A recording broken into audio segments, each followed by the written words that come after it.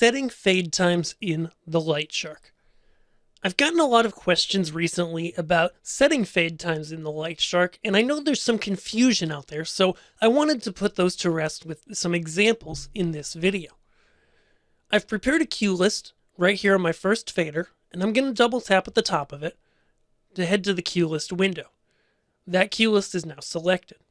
I can also get to my selected cue list by going straight to the cue list window and then selecting that particular cue list. This cue list has three cues on it. Let's take a look at them. Cue 1 brings the lights on into a position. Cue 2 changes the color. Cue 3 brings in a different set of lights and also changes the position. Now we can use this to look at the cue options here in the LightShark. First thing I'm going to do is stop this cue list. If a cue is active in the LightShark, like Q3 was just a second before, then I'm not able to modify the times live. However, I will be able to, if I do modify them, say I set this to a 3 second crossfade, it will change when I move off of this cue, okay?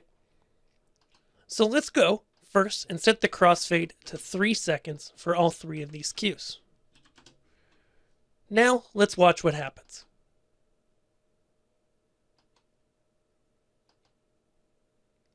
After I replayed Q1, the crossfade took, and then I see one, two, three, one, two, three, one, two, three. I get a crossfade of three seconds between each cue. However, we can use the fade in and fade out times to get even more precise control. So for the sake of our example, so we can see it well, I'm going to switch the crossfade to 5 seconds so that it's nice and slow.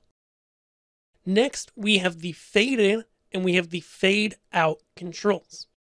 Now, there's a couple caveats to using the fade in and fade out controls manually. Okay, let's go ahead and set the fade in to one second on this first cue. And we'll set the fade out to three seconds. Then on the second cue, I'm going to do the same thing. Let's play through our cues. Now, before we do that, remember the fade out, and this is important, is the fade out of the previous cue when this cue is fading in, okay? So when I press play here starting from scratch, I just see a fade in of one second. I don't see a three second fade out because there's nothing that we were coming from. Let's go to our second cue. Now I see a three second fade, okay, to our next cue. Now notice, if I play it again, even though the fade in is one second, this takes three seconds because the fade out from the previous cue is three seconds long. Okay, why does that happen? Well, in this case, we're not working with any parameters that we hadn't worked with in the previous cue, so whichever time is longer is going to be the time that wins. Let's look at another example. If I go to my third cue here, we can see it crossfades in at the full five seconds. Now we're going to go back to the first cue, which only fades in at one second, but fades out at three seconds.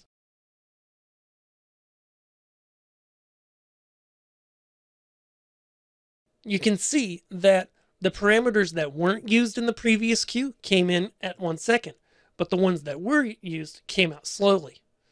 Let's look at the same thing on this last cue.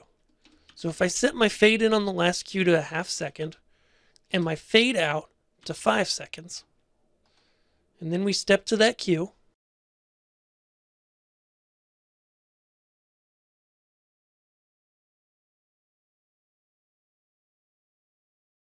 I now see that the lights previous fade out over five seconds, the lights from the previous cue, but the lights and parameters that are only in this cue waited and faded in at half a second in the last half second of that fade out time.